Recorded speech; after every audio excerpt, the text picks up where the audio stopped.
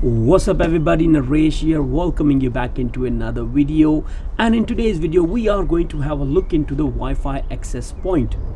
Now first I need to explain the reason that why would I need it. The reason is very simple.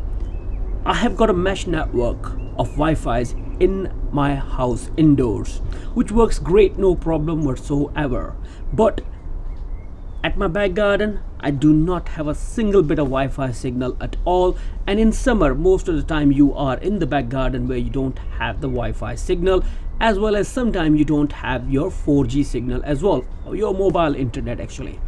To tackle that problem what I've done is basically I researched a little bit and came up with this product which is by TP-Link and it's AC1200. It's an indoor and outdoor access point with fantastic features which I wanted to try it in outdoors first to start with then I might be bringing him into the house as well because he's got the technology of mesh 2 in it. So in this video we're going to go through each and every section of this product. First I'm going to show you what is included with the package, how you're going to configure it, how you're going to set the app up as well so as the demonstration which will give you an idea that how good this product is actually i hope so i'm going to cover each and everything in this video so let's not waste too much of time and straight away jump into the video part so just before jumping into the unboxing and demonstrating the performance of this TP-Link AC1200 access point, let's have a look into the feature which is offered. Starting with the mesh technology, free centralized management application is also available long range coverage that's what we want as well as a seamless roaming that's the best feature if you'd like to couple couple of them outdoor or indoor if you want to in your area so you will not see a difference in terms of internet connectivity that if you're shifting from one access point to another access point. Now within the list here you can see the feature specification as well as the contents which are coming with this whole system.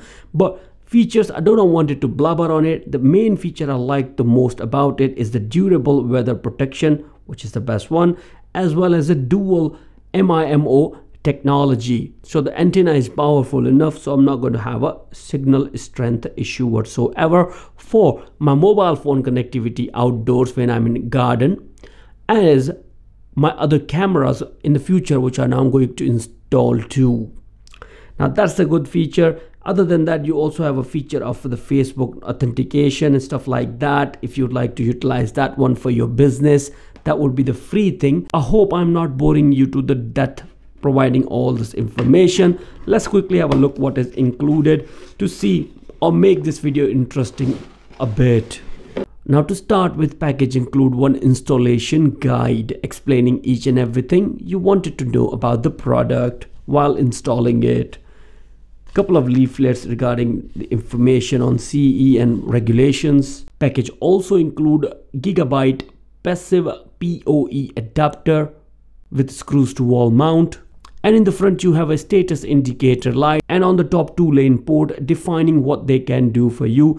One is the PoE which will be going to this access point. Another will be the LAN connection where you will be connecting your internet now under the base of PEO adapter you have a power cord input to detachable and weatherproof antennas, power cord for PoE module, and now in last but not least access point which is pretty sleek and straightforward in terms of its design. Looks classy too for indoor as well as for outdoors if you want to. Now port to connect your ethernet is well covered under here.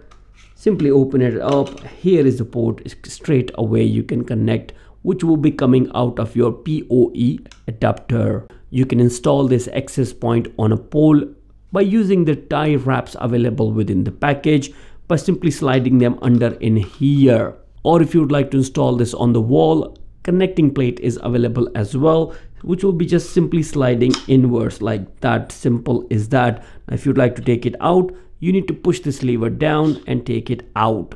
So simple is that first you need to install this wall mounting bracket then slide in your access point in there. Now installing the antennas is a very easy and straightforward job. Just simply screw them in. That would be all.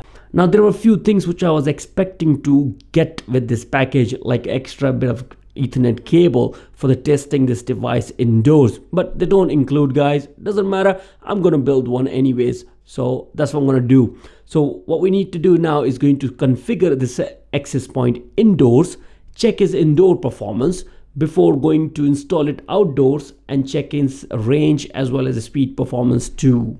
So let's go ahead and uh, configure it first to start with by downloading the application from the Google Play Store. Now the application which we need to download to configure this access point is available for Android as well as for iOS users. I'm on Android so I'm going to open up the Google Play Store and search for the application called Omada. O-M-A-D-A. TP-Link Omada. Amoda. Omada. Amada. Blah, blah, blah whatever they say actually guys you see what i'm trying to talk here now click onto the install. Once the application is installed you might have to create an account with them. Now obviously we need to create an account which can be done by going into the login and click, clicking onto the sign up button. Now go through the application which will ask you how to create your password but never give them your bank detail or pin number. Simple is that. Now, once you created account with the TP-Link website or with their application, account and credential are exactly the same. You'll be right on this screen. Now here, you need to add your EAP actually, which is called this uh, access point which can be done once it's connected on your network and your mobile phone device is also on the same network you can use this all features by using your computer as well which we're going to touch a little bit later on if possible. So now let's power up our access point and uh, connect it with uh, obviously the PEO switch and everything. I'm going to show you how I have set it all up so you will get an idea. So here we have the basic and startup setup. As soon you're going to power up your PoE adapter, you're going to see a status indicator light on it and the connections are done as well where one wire is coming from my internet switch. Another wire is going out of this PEO adapter to this access point.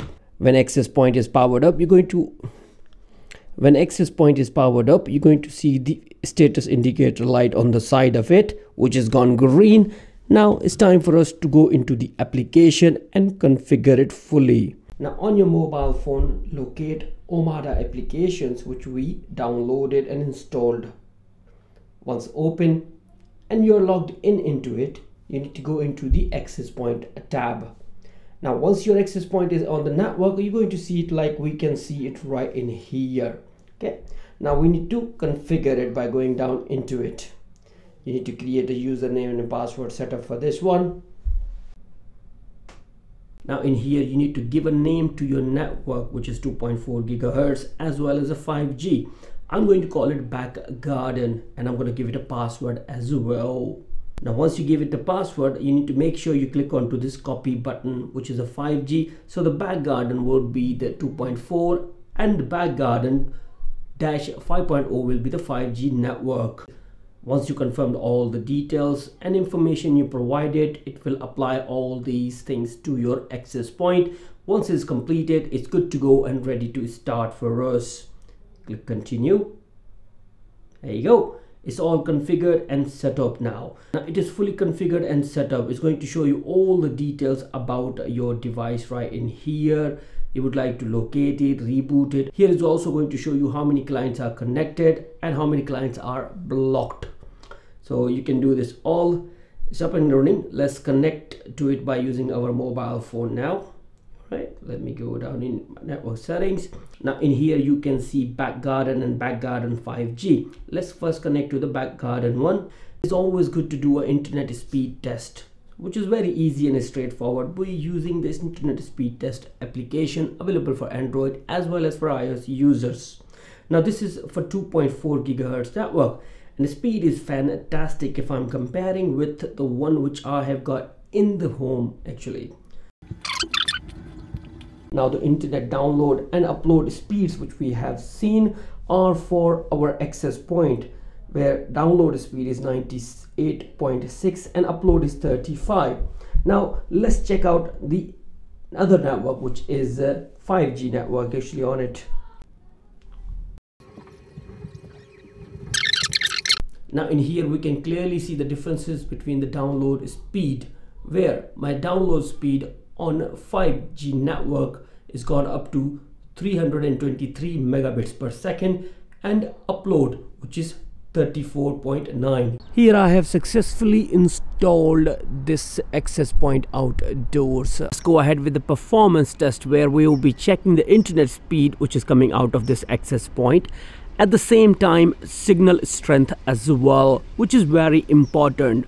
They claim up to about 300 meters outdoors. Indoors is not that great i tell you now. But outdoors i think it will be much better. Now for the speed test i'll be using the speed uh, internet speed test obviously the standard one which everybody uses it. Link is available in the video description for that. And for the wi-fi strength i'll be using wi-fi signal strength an application which is available on Google Play Store. So first thing let me make sure you that we are connected with our access point which is a back garden 5G. I'm standing one corner of the house and access point is just round in there which will give you an idea and let's go for the speed test right in here.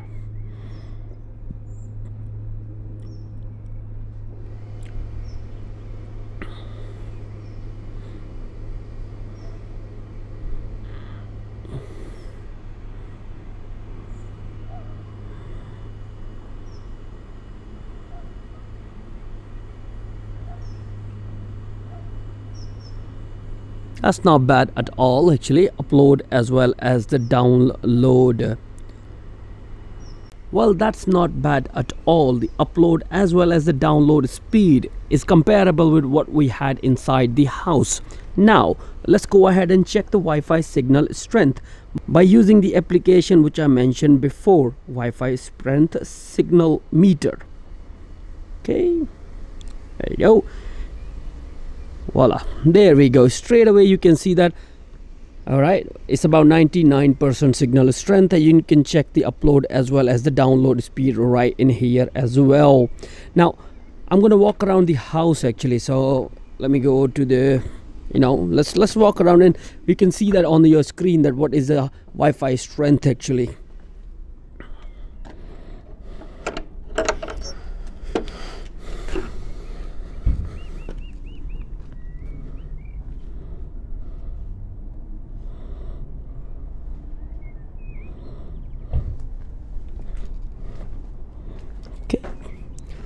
still 98 99 because we are coming from that area.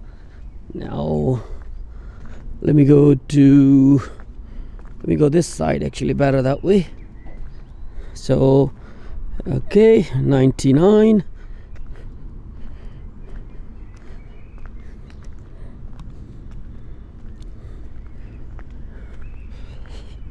okay 75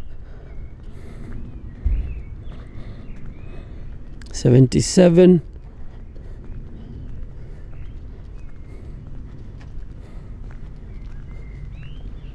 40 46 okay. So I would be around uh, around that corner. That's that's that's my house right in the corner. You can see that. And signal strength is about 48 not bad at all. All right. Now what we're gonna do is basically do a speed test right in here let's go for it. Let's see what we get. Hmm. well still we are getting about 60 67 68 around 70 on download.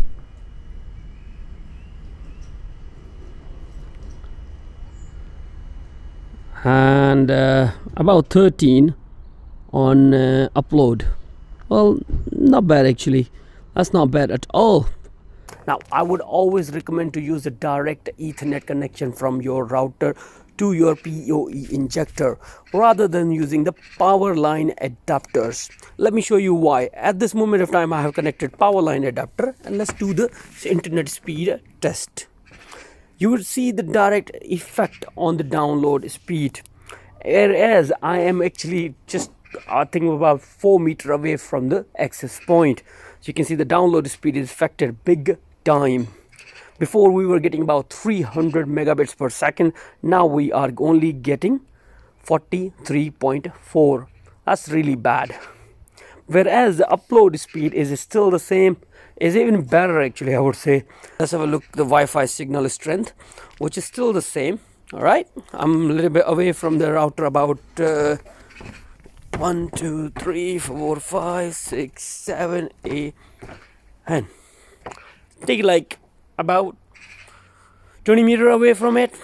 But still we are getting the strength is very good. Actually not bad at all well it's time for the conclusion. I hope i have covered each and everything you wanted to know about this access point. If i forgot anything please do let me know in the comment section down below. And if you like this video why not hit the like button and click onto the subscribe as well? Because here on my channel i'm going to bring you some fantastic piece of kits which you can use daily basic actually. Like a typical user not a high-tech guy actually with got all the cctv cameras looking at him kind of. All right so if that is something you are looking into click onto the subscribe button. So for the motivate guys shall see you soon into another video. Bye for now